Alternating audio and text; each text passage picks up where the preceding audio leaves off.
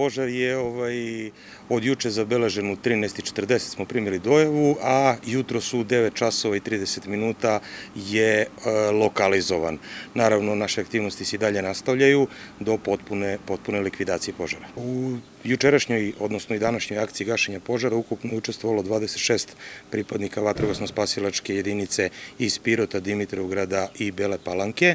Takođe, veliku pomoć su nam pružili i predstavnici Dobrovoljnog vatrogasnog društva, uzeli su aktivno učešće u gašenju požara, njih osam ovaj, su aktivno, aktivno reagovali zajedno sa nama.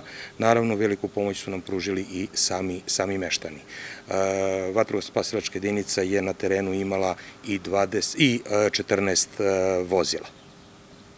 Ono što bi naravno u ovoj prilici morali da iskoristimo i da apelujemo još jednom na naše građane, svedoci smo eto jučerašnjeg požara koji je ovaj, se vrlo brzo proširio požarne površine nekih 200 hektara, e, nošena vetrom, vatra se vrlo, vrlo brzo širi i predstavlja opasnost kako po ljudske živote, tako i po materijalna dobra. I naravno još jednom apel svim našim građanima da ne pale vatru na otvorenom prostoru, da ne pale vatru u šumama, na rubu šume i da će za tako nešto naravno biti ovaj, adekvatno i sankcionisani.